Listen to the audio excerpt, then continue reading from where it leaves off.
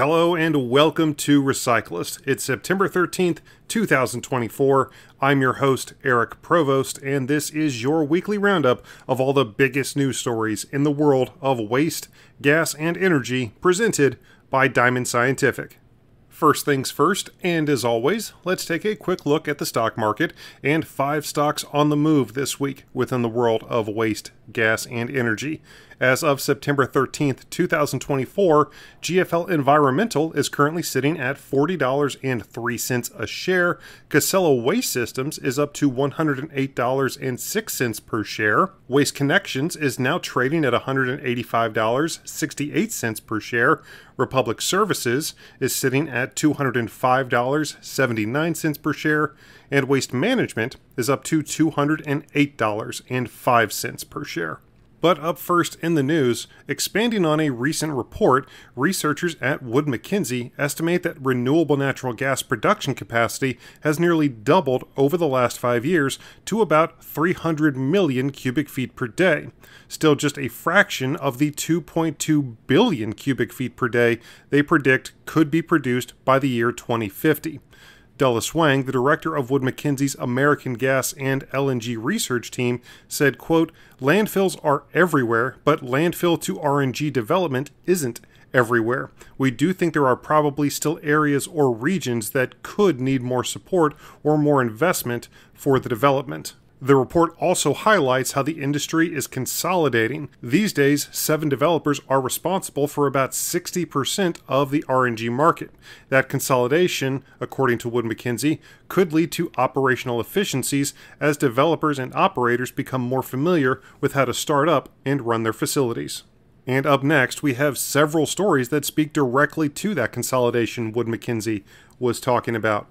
First up, Apollo recently announced through their so called Apollo funds, they have acquired a majority interest in Texas RNG company Freedom. Founded in 2012, Freedom operates a growing network of high capacity fueling stations in highly trafficked locations in the Houston metro area, providing RNG to transportation companies, refuse companies, municipalities, school districts, and other high volume fuel users in support of their decarbonization objectives. Apollo partner Scott Browning said, quote, Freedom has developed a strong portfolio of RNG fueling stations with meaningful growth potential driven by established relationships with blue chip customers and attractive new development opportunities. We look forward to working with the Freedom team to continue expanding Freedom's platform through organic and inorganic growth initiatives in a market where we see the need for significant investment given the tailwinds that exist. End quote. Up next in acquisitions, according to a recent report, Gevo Incorporated is set to buy Red Trail Energy's ethanol plant and carbon capture and storage facility in Richardton, North Dakota, with plans to produce sustainable aviation fuel from ethanol in a $210 million deal with the company that's been in operation for 17 years. The acquisition will give Gevo a total sequestration capacity of 1 million metric tons per year. That includes 160,000 metric tons per year currently being used by Red Trail. The deal also includes Red Trail's 65 million gallon ethanol plant that started production in 2007 as one of the first coal fired ethanol plants in the country and converted to natural gas in 2016 and we've saved the most expensive acquisition for last, as Canada headed Methanex Corporation, the world's largest methanol producer, has announced it has entered into a definitive agreement to acquire OCI Global's international methanol business for $2.05 billion.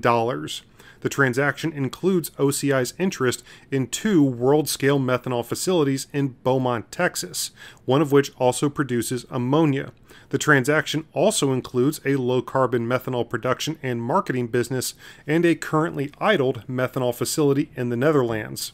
Rich Sumner, president and CEO of Methanex, said, quote, This is a unique opportunity to create value by acquiring two highly attractive North American methanol assets that will further strengthen our global production base, and we expect it will be immediately accretive to free cash flow per share. The Beaumont plants benefit from access to North America's abundant and favorably priced supply of natural gas feedstock, and we are expected to increase our global methanol production by over 20%. End quote. And just a reminder Recyclist is a registered trademark of Diamond Scientific, an industry leader in gas analysis, instrumentation, and solutions. Make sure to visit them online at diamondsci.com. That's diamondsci.com. Or you can even set up a personalized presentation by calling 321 223 7500. Now on with the news. Up next, expanding on our first story about Wood Mackenzie and the growth of the renewable natural gas industry over the past year, the Coalition for Renewable Natural Gas recently announced a major milestone in the growth of the industry, with 433 facilities now operational across North America.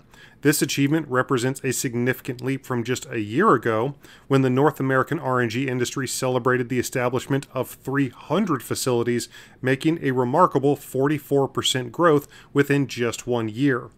RNG Coalition founder and CEO Johannes Escudero said, quote, This is a significant milestone in the advancement of our mission and sustainable methane abatement and recycling timeline. We are proud of what our organization and industry have accomplished together, but we are focused on the next benchmark and on even broader energy sector adoption of RNG as a critical component in our society's transition to a cleaner, more sustainable future. End quote. And next, AMP Americas, a dairy methane capture and renewable natural gas company, announced this past week that its projects have reduced more than 2 million metric tons of carbon dioxide equivalent emissions since 2012, equivalent to the emissions of more than five natural gas fired power plants in one year. AMP Americas partners with dairy farmers across the United States on projects that reduce methane emissions from dairy waste. Grant Zimmerman, CEO of AMP Americas, said, quote, For 12 years, we have worked alongside farmers to make a real, quantifiable impact on greenhouse gas emissions while improving the air quality in rural communities. 2 million metric tons is a milestone we're proud of, especially since there are no other near term solutions that can tackle methane emissions like our RNG projects. We are grateful for our farm partners and excited to work with them to increase our impact. With access to new markets, AMP will continue additional projects on more and smaller farms across the United States. End quote. And speaking of renewable natural gas production, Fortis BC is officially putting the call out to all RNG manufacturers. They have issued a request for expressions of interest for additional power to meet its customers' growing energy needs and support economic growth in British Columbia's southern interior region. As the company identifies promising projects, Fortis BC said it will work with power providers to bring these new projects online and increase the amount of electricity available for its customers. Joe Mazza, Vice President of Energy Supply and Resource Development at Fortis BC, said, quote, As a provider of critical energy services in British Columbia, Fortis BC is committed to providing safe, reliable, and affordable energy to the homes and businesses we serve.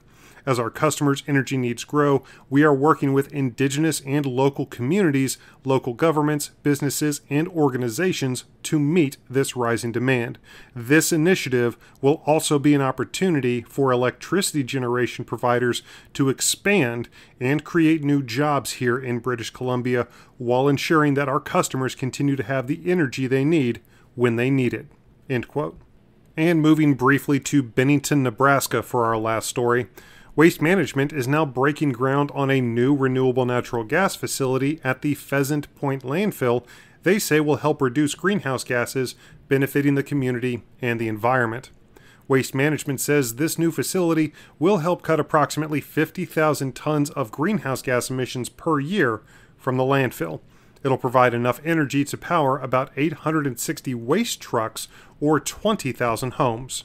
This project is just one of 20 waste management is building across the country. It says it is investing more than $1.4 billion in renewable energy from 2022 through 2026. And that has been your September 13th, 2024 news roundup brought to you by Recyclist, a registered trademark of Diamond Scientific. I've been your host, Eric Provost, and we'll see you back here next week for another brand new episode of Recyclist. Thank you.